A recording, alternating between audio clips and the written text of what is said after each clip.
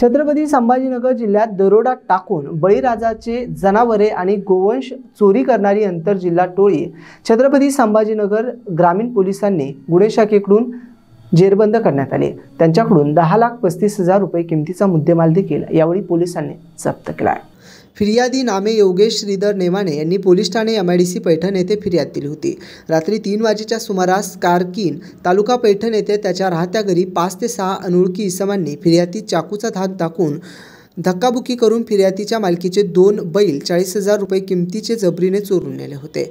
याची तक्रार त्यांनी पोलिसात दिली होती. यानंतर पोलिसांनी शेख तय्यब शेख शफी अरबाज अकबर पठाण अबुलास अहमद अब्दुल हमीद अन्सारी सोबतच सहेजाद शब्बीर अहमद असलम अहमद कुरेसी अशा या आरोपींना पोलिसांनी ताब्यात घेतलं आहे पोलिसांनी त्यांच्या ताब्यातून गोवंश जातीचे जनावरांचे मांसाची विक्रीतून मिळालेली रक्कम रोख चार लाख पंच्याऐंशी हजार रुपये देखील जप्त केली आहे.